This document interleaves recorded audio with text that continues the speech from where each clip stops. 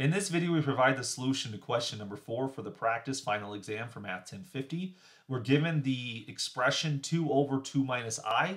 Uh, this is a complex quotient. We want to compute the quotient and write it in the standard form a plus bi. So what we're going to do is we're going to multiply the top and bottom of the fraction by the conjugate, complex conjugate of its denominator. So the original denominator being 2 minus i, its conjugate is going to be 2 plus i. Um, in the numerator, we do have to FOIL it out. Now, since the, the original numerator was just a constant, uh, we would distribute the 2, ending up with 4 plus 2i.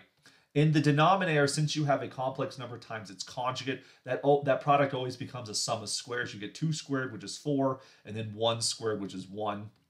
And so this would then simplify to be 4 over 5, that's the real part, and then you're going to get 2 over 5i as the imaginary part. And so we see that the correct answer would be choice A.